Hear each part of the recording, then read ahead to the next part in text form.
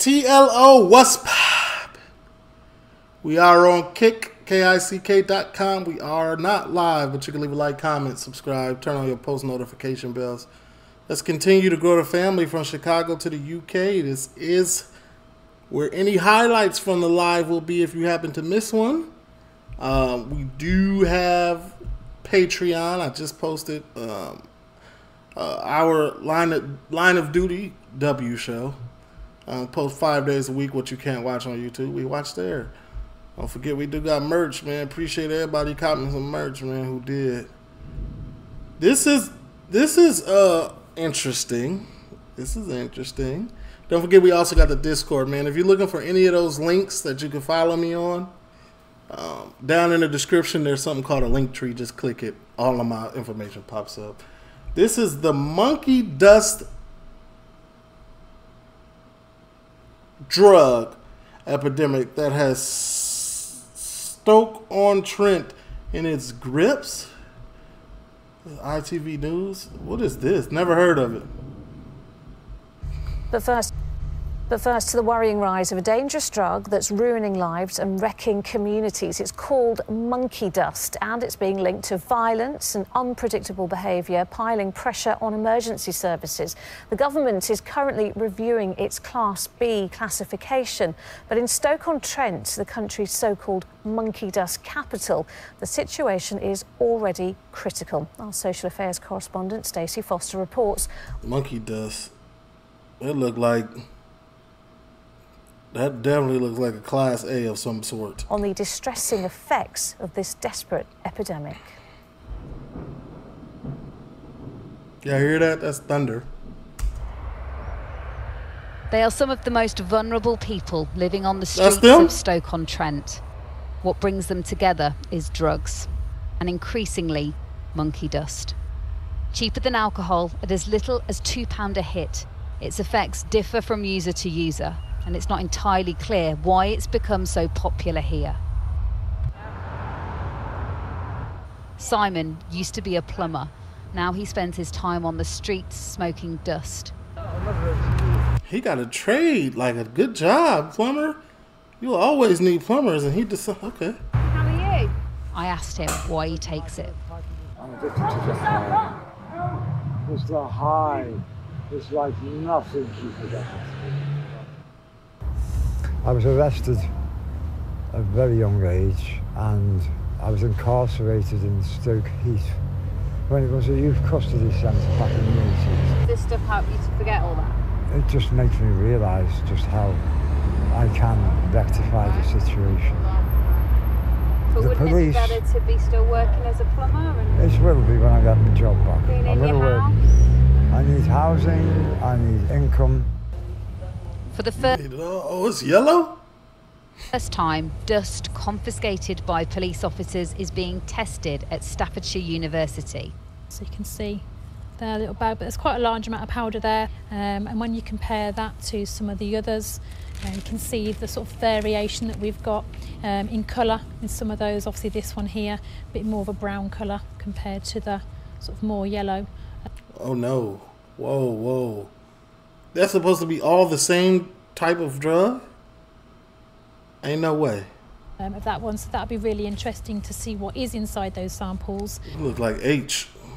ITV News was given exclusive access to the lab where samples will be deconstructed to establish why this city has an issue with monkey dust. Monkey dust is a synthetic cathinone uh, referred to as MDPHP. Primarily, we Mmm, it's an MD, huh? Okay. Synthetic MD. Yo. We are looking to identify what the main constituent is, and that will just really help to um, identify whether or not it is MDPHP that they're taking when they refer to the term monkey dust. Y'all got to remember that I'm a classically trained scientist. Uh, I went, I, I studied Harvard, IT, you know what I'm saying? Uh, Yale, Lancashire, all that. So when they when they put out these words, got it.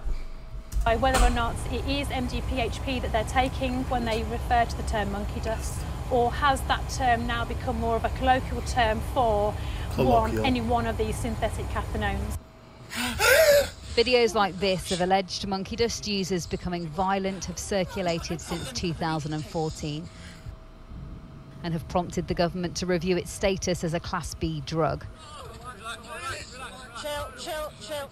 Sarah Page has co authored a report looking at user experience. We had 13 people who had used monkey dust, which will inform the Home Office's decision. And then we found from people with lived experience that they didn't resonate with that kind of media image that has been out there around monkey dust. Because of the government cutbacks on services, the police. What's up with the UK and synthetic stuff? Like, this is not anything new throughout the history of me doing reactions to the UK when it comes to DRUGSs. Uh, like, synthetic run runs deep through the UK. You know what I'm saying? Like, why is that? It's because I do know why, because it's cheaper, it's easier to get, and you know, feed feed feed what they need to feed. But that's that's messed up. Synthetic is it's just worse for you. These are very much working uh, as, as the arm of a, a, maybe a social worker or anything synthetic should be class A, A plus. If it's synthetic, it's A plus above anything else. There's class A and then there's A plus for synthetic. Anything synthetic, just make a whole new category. Drugs worker in some cases. The ultimate aim is to take monkey dust off the streets. There's no denying that it's taking up a lot of. Impossible. Y'all been working on the crack epidemic since the 70s, 80s. Still there. What you mean take it off the street?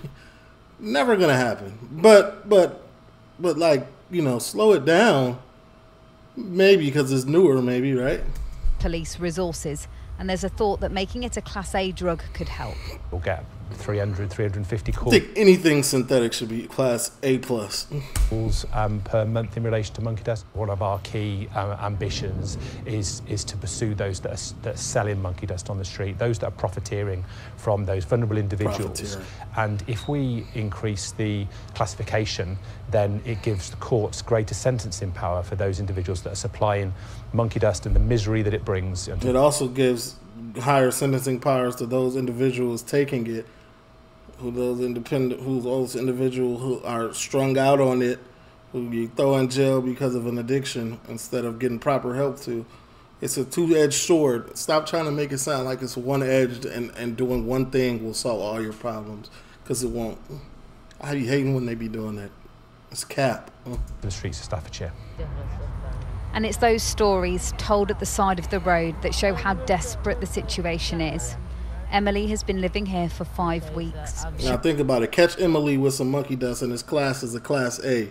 She gets she gets a lot of. She's gonna get sentenced crazy too, along with those, um, you know, what I'm saying dealers and things of that nature. She's lost her mum, her job, and has just had a. Not that I disagree with what they're talking about, but it's just don't make it sound like it's one problem, one solution is good, and it's gonna solve your problems. It's not. It's gonna is going to incarcerate people who don't des- don't deserve to be incarcerated, who really need help, like like miscarriage. She uses monkey dust. She's lost her mum, her job, and has just had a miscarriage. She Obviously. uses monkey dust and heroin. I'm mentally addicted, yeah. But physically, no. Not like I'm heroin. How easy is it to get hold of in Stoke-on-Trent? I could walk or four down the street right now and get you five different people that would give me some. Way. You getting help? Um, I ain't help with housing. Um, but I'm, I'm gonna be quite quickly. I need to do just. Who is this other dude talking in the background? It's just a miscarriage twins. I, I don't want to get off the drugs right now. Stoke-on-Trent has been awarded 5.3 million pounds to help support drug users in the city. But at the moment, for many, it's easier to get a cheap hit than it is to get help. Stacey Foster, ITV News, Stoke-on-Trent. Somebody need to sweep over there. TLO, man, let me know what y'all thoughts if y'all run across this, what it's doing to y'all community, man. I'm gone.